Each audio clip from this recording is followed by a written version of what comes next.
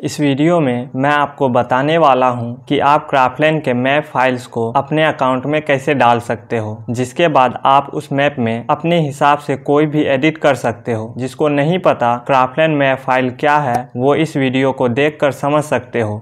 बहुत से लोगों को एंड्रॉयड में डाटा फोल्डर का एक्सेस नहीं मिल रहा। इस वीडियो में यही बताने वाला हूँ कि आप कैसे बिना किसी एक्स्ट्रा ऐप के मैप फाइल्स को फ्री फायर के डाटा फोल्डर में डाल सकते हो। मेरे सारे प्रोसेस को अच्छे से स्टेप बाय स्टेप फॉलो करो ताकि कोई मिस्टेक ना हो।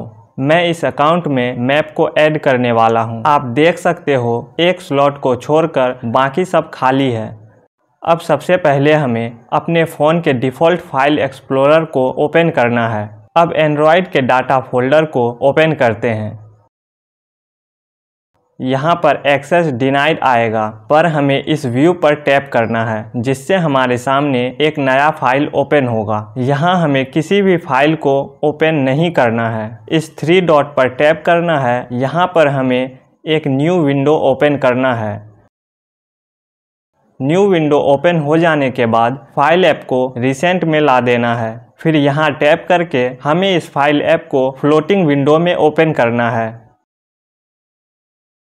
आप ऐप को पूरा ऊपर ड्रैग करके भी फ्लोटिंग विंडो में ओपन कर सकते हो। फ्लोटिंग विंडो में आ जाने के बाद हमें इसमें उस क्राफ्टलैंड मैप फ़ाइल को सिलेक्ट करना है, जिसे आप अपने अकाउंट में लाना चाहते हो। आपको कुछ मैप्स के फ़ाइल पिन कमेंट में मिल जाएँगे। आप वहाँ से मैप फ़ाइल डाउनलोड कर सकते हो। मैप फ़ाइल को ओपन कर लेने के बाद हमें फिर से फ़ोन के डिफ़ॉल्ट फ़ाइल एक्सप्लोरर को ओपन करना है। फिर से डाटा फ़ाइल में व्यू पर टैप कर देते हैं। अब एंड्रॉयड डाटा में उस फोल्डर को ओपन करना है, जहाँ पर क्राफ्टलैंड का मैप फ़ाइल होता है।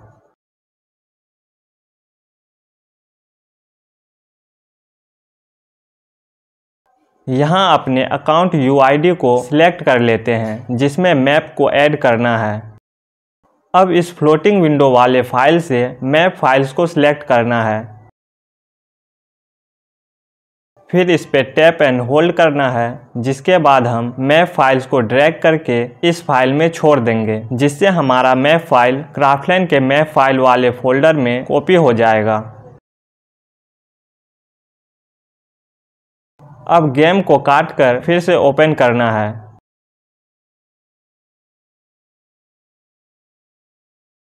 फिर गेम ओपन होने के बाद हमारे मैप स्लॉट में कॉपी किया हुआ मैप ऐड हो जाएगा। इसके बाद भी अगर आपको परेशानी हो रही है तो कमेंट्स में बता देना। इस वीडियो के लिए इतना ही। फिर मिलते हैं अगली वीडियो में।